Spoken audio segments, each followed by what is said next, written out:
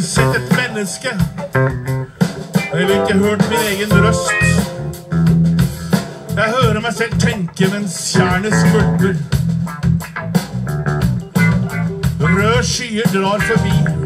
Det mørknes, og fjellvannet blir sort, og lommen skriker. Det farer en angst gjennom meg. Hvor er de alle sammen? Hva gjør de? Lever de enda?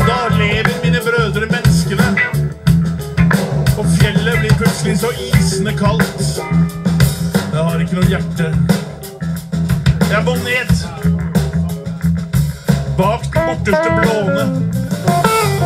Sør for de brede slettene, der hvor hjertet slår, der hvor tusen av hjerter slår i kor. Der raser ned til dalen.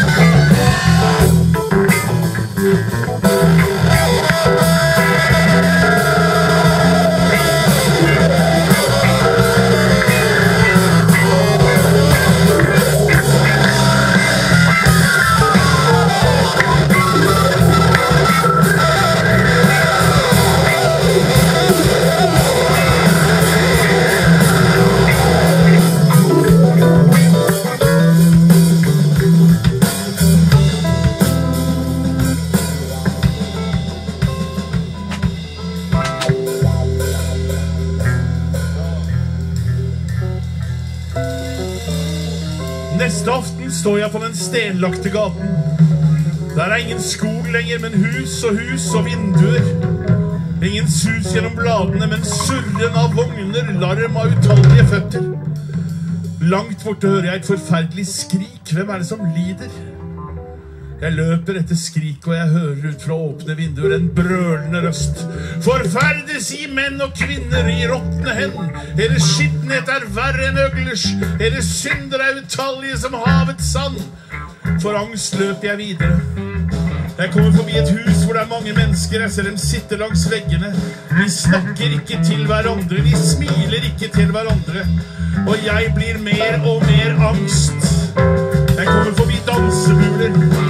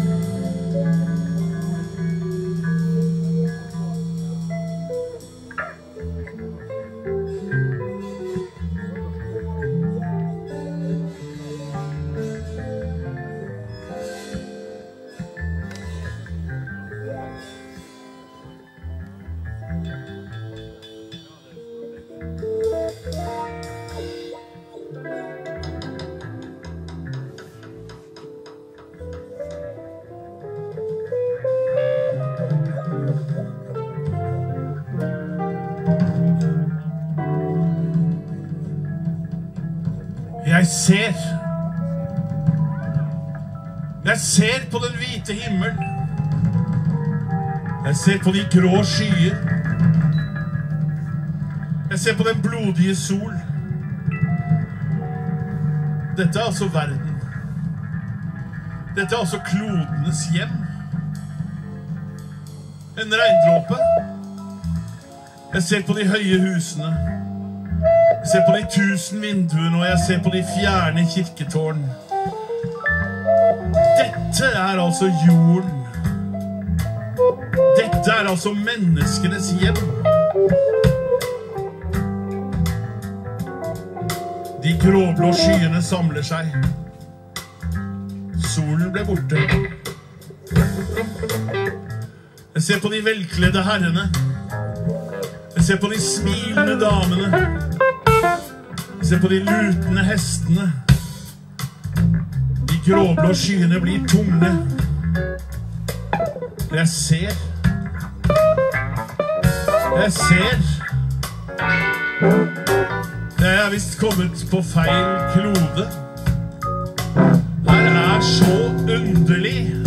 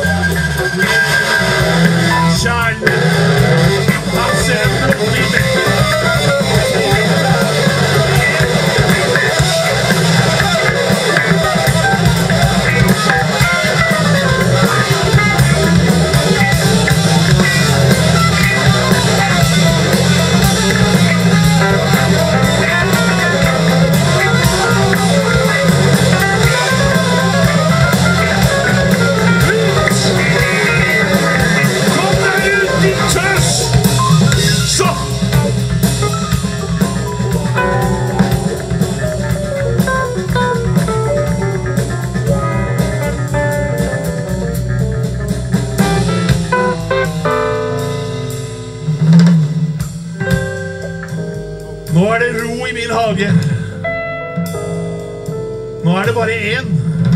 En som sover, som jeg ikke tør å vekke.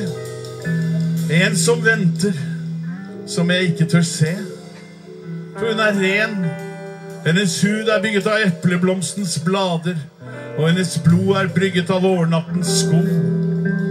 Hennes nerver er spunnet av lys og av toner, og hennes muskler er tunnet av rosenknoppers marg. Hennes legeme er tegnet av den store Satan, og hennes sjel er diktet av Gud selv. Brenner inn! Skål!